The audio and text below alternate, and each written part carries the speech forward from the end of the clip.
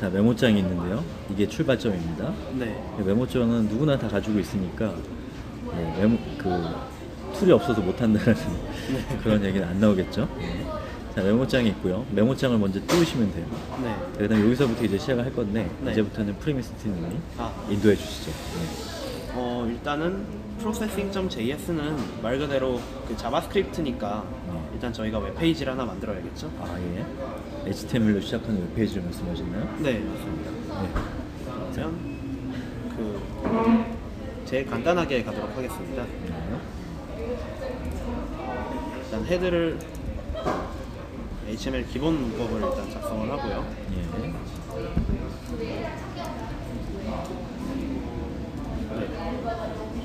그리고 그 아, 일단은 우리가 processing.js를 사용할 거니까 processing.js를 다운받아서 여기다가 문서에다가 삽입할 수도 있고요. 예. 아니면 두 번째 방법으로는 그냥 기존의 processing.js 홈페이지에 있는 파일을 직접 링크를 할 수도 있는데요. 여기서는 다운받을 그런 필요 없이 processing.js 홈페이지에 있는 파일을 삽입하도록 하겠습니다. 예. 자 그러면 진행하시죠. 예. 어, 아까 있었던 processing.js 홈페이지에서 예. 다운로드를 눌러주시면요.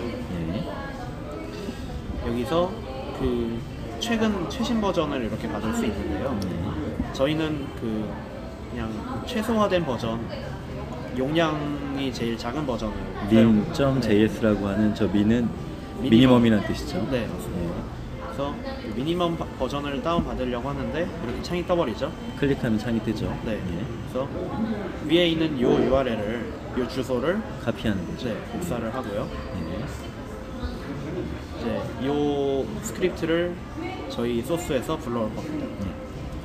스크립트. 일단은 processing.js는 말 그대로 자바스크립트니까요. 예. 음, 타입을 지정해 주고요. 예. 주소는 이렇게 된다. 이렇게 지정을 해 주시고. 그럼 이 웹페이지가 열릴 때 저 주소에 해당되는 자바스크립트를 로드하겠네요. 네, 맞습니다. 예. body 같은 경우에는 이제 저희가 아까 보았던 것처럼 스크립트 타입은 어플리케이트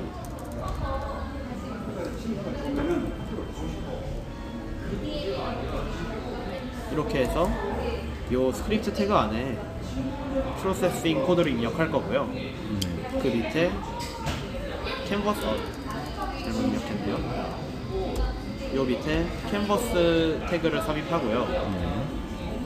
예. 이 캔버스 태그는 위에 있는 Processing 그 코드를 실행한다고 해야 될까요? 프로- 코드를 바탕으로 그림을 그려질 대상이 될 겁니다. 그러면 여기 제가 궁금한 게 네. 캔버스 태그에는 네. ID 값이나 이런 것들을 붙이지 않아도 되는 어, ID 값을 뭐 CSS를 사용해서 그 크기를 조정할 수도 있는데요. 캔버스를 사용하실 때 이건 약 캔버스에 대한 이야기지만 약간 유의하실 점은 캔버스를 이렇게 아이디를 지정하시고요. 예를 들면 hello world 지정하시고 CSS에서 샵 hello world로 샵 hello world로 이렇게 스타일을 지정하실 때 네. width하고 height로 가로 세로 값을 지정해줘도 캔버스에선 반영이 되지 않아요.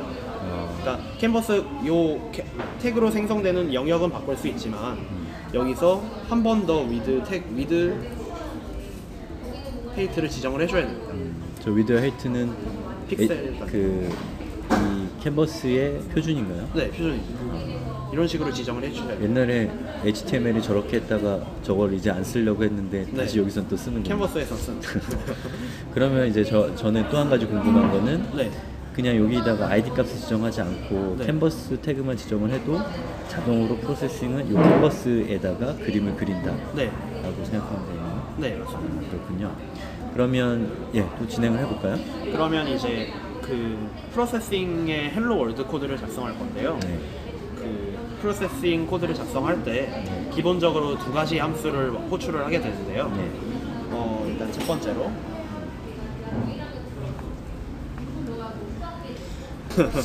setup이라는 함수를 호출을 합니다. 예. 저희가 그 setup이라는 함수를 따로 뭐 정의하지도 않았는데 예. 이렇게 호출할 수 있는 이유는요.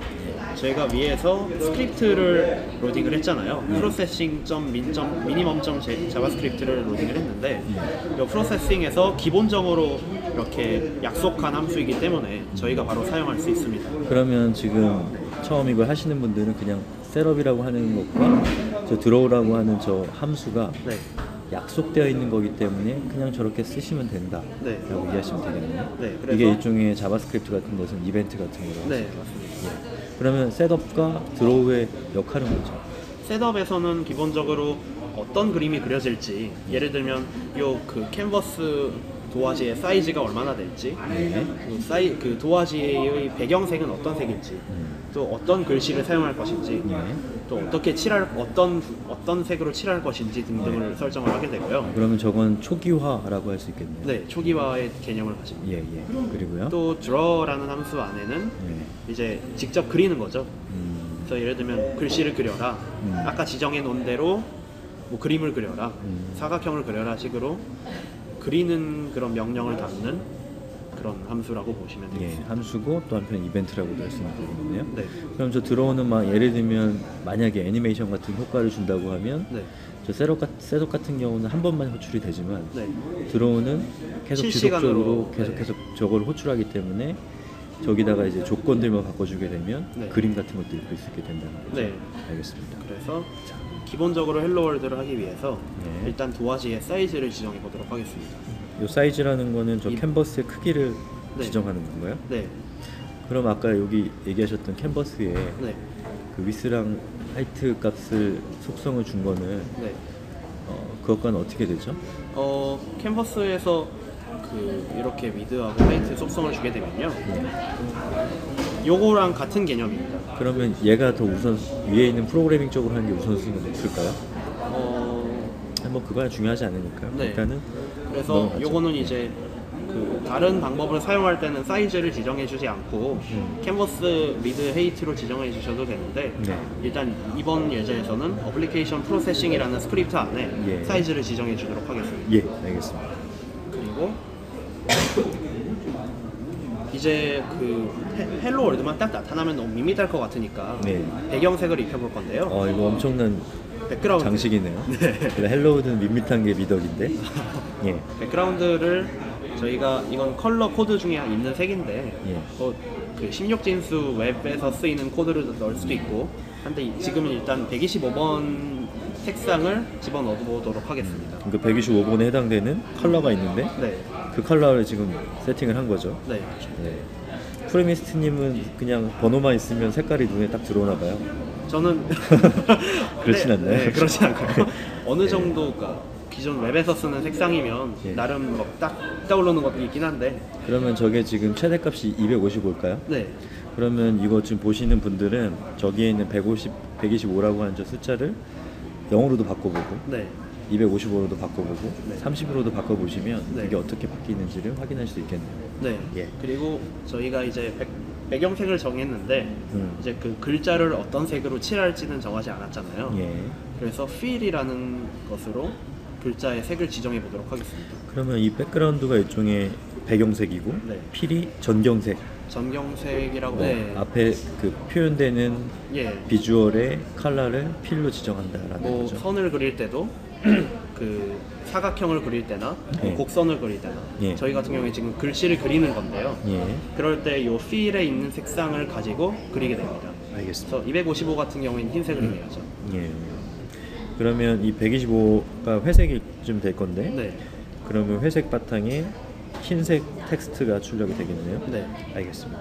그리고 여기서 조금 그 지금까지는 약간 딱 앞에 있는 영어를 보면 이해가 됐었는데요. 네. 이번에는 생소할지도 모르는 예. 그런 것을 써보도록 하겠습니다. 예. no loop라고 썼었, 썼는데요. 예. 이 no loop의 의미는 그 일단 Processing이 아까 보셨던 것처럼 음. 여러 예제들에서 움직이는 그림을 표현할 수 있는데요. 예. 그런 움직이는 그림을 표현할 때 setup에 있는 값들을 가지고 draw를 실시간으로 그리게 됩니다. 예. 그래서 뭐 어떤 게 예를 들면 저희가 뭐 if문으로 속성을 계속 바꾼다. 예. 그렇게 되면 그거에 따라서 그림이 계속 바뀌게 되는데요. 예. 그걸 하나의 loop문으로 처리를 했는데 예. no loop라고 저희가 막 딱 써버리게 되면 이제 draw를 한 번만 그리고 더 이상은 그리지 않게 됩니다. 그 얘기는 애니메이션을 하지 않는다라는 네. 뜻이군요. 그럼 일단 노루프는 뭐 중요한 개념이긴 하지만 지금 우리가 하고 있는 예제에서는 뭐 없어도 되는 거기 때문에 네. 뭐 계속- 일단은 네. 참고적으로 아시면 되겠고 혹시나 이해가 안 가셔도 걱정하지 않으셔도 된다. 네. 지울 필요는 없을 것 같아요. 네. 자, 그 다음에 그 다음 부분 넘어가죠. 네, 이제 저희가 글씨를 어떻게 그릴지를 지정을 할 건데요. 예. 그 일단은 프로세싱에서 폰트를 다룰 때는 PFONT라는 걸 쓰는데요. 예. 이제 새로운 그 객체를 만들 건데 예. 폰트 A라고 일단 지정을 해볼게요. 예. 그리고 이 폰트 A에는 어떤 폰트를 로드할 건지를 이렇게 설정을 해줍니다. 예. 그래서 요 큰 따옴표 안에 예. 로드하고 싶은 뭐 서체를 집어넣으시면 되는데요. 예. 일단 저희가 따로 폰트 파일을 그 적용하는 예제는 기회가 되면 다음에 살펴보기로 하고요. 예. 일단 시스템에 설치되어 있는 글꼴을 한번 load 해 보도록 하겠습니다. 예. 여기서는 제일 기본적인 폰트인 Arial을 load를 해볼게요. 예. 여기서 뭐 관심이 있으시면 뭐 풀이어나 이게 될지는 모르겠는데 맑은 고딕도 될 것 같습니다. 예. 될것 같아요. 네. 제 거에 깔려 있어요. 일단은 여기서는 Arial로 지정을 해보겠습니다. 예. 그리고 이제 그 해당 그 글 폰트의 예. 그 크기를 지정을 할 건데요. 예. text font라는 속성이 있는데 예. 요거를 이제 좀 더 많은 옵션을 줄 수도 있는데 예. 이번엔 아까 위에 그 폰트 A라고 지정했던 폰트의 예. 크기를 사이즈를 지정해 보도록 하겠습니다. 예. 그래서 여기서 14라는 값을 입력해 줄게요. 음, 그러면 저 text font라고 하는 저 함수가 네. 첫 번째 인자로 네. 이 폰트 A라고 하는 거 받고 네. 그 폰트 A라고 하는 그 폰트 함수 폰트의 네. 사이즈를 크기를 14 픽셀인가요? 이제 세로가 14 픽셀이 되는 거죠. 예, 14 픽셀로 지정해주는 역할을 하는 게 text font라는 함수네요. 네. 그러니까 포맷을 입혀주는 역할을 하는 거군요. 네. 알겠습니다. 그러면 아, 뭐 정확하게 얘기하면 그런 뜻일 것 같은데요. text font가 결과적으로 최종적으로 폰트를 세팅해주는 역할을 해주는 거고 네. 첫 번째 인자로 폰트 객체를 받고 두 번째 인자로 그 폰트의 크기를 받는 거네요. 그죠? 네, 맞습니다. 알겠습니다. 그럼 저렇게 하면 그 폰트가 이 문서에 적용이 된다. 네.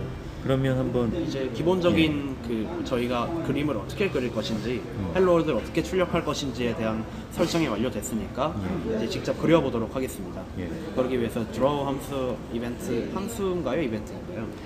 그냥 어, 네 전제 생각에는 이벤트 역할도 하는 것 같아요. 제가. 네. 예. 그래서 draw 안에다가 예. 이제 텍스트를 하나 그려보겠습니다. 예. 텍스트 hello world 시리즈죠 저희. 음.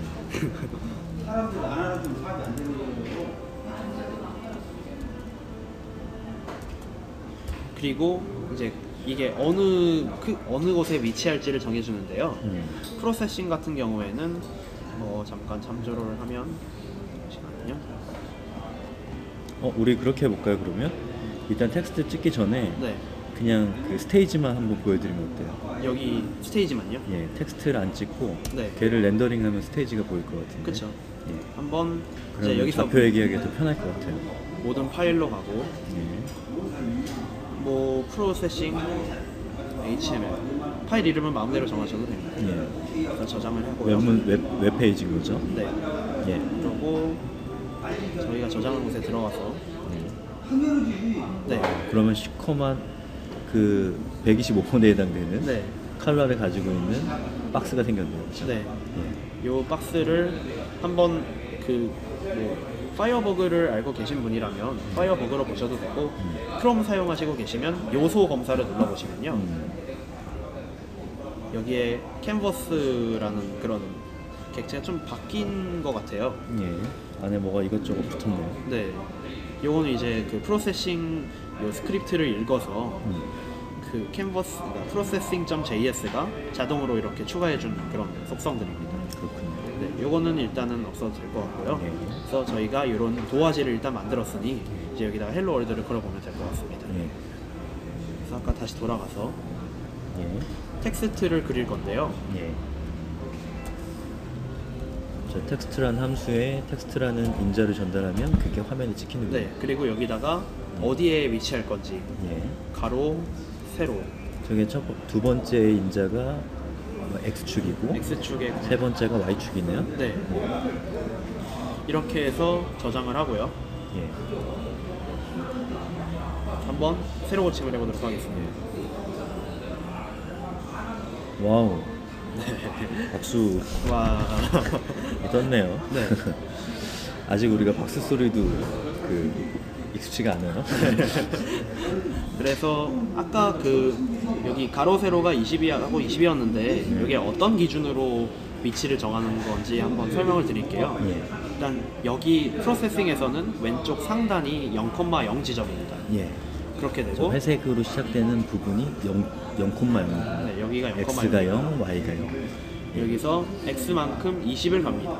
그럼 거기가 20픽셀이고요. 네, 20 여긴 20,0이겠죠. 예, 그쵸. 그리고 세- 세- 밑으로 y축으로 내려갈 때는 좌표 평면 그런 거와 다르게 밑으로 내려갑니다. 예. 그래서 20, 20이고요. 여기가 글꼴의 시- 저희가 쓴 Hello World의 시작점이 되는 겁니다. 글꼴에 저걸 baseline이라고 하죠? 네.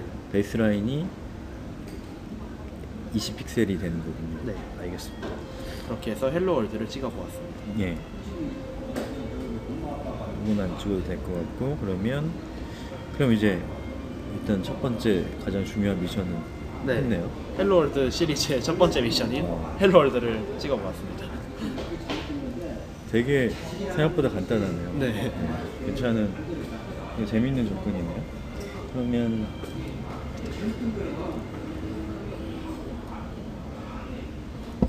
자 그럼